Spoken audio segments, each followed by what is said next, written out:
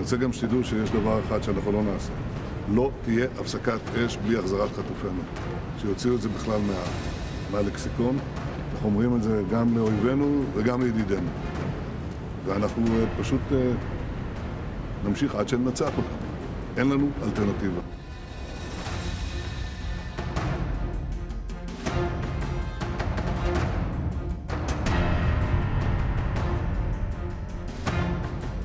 פלוגתית, המסגרות האלה הולכות ומתכרסמות, הולכות ומתפרקות כתוצאה מהפעולה הנחושה של לוחמי צה"ל.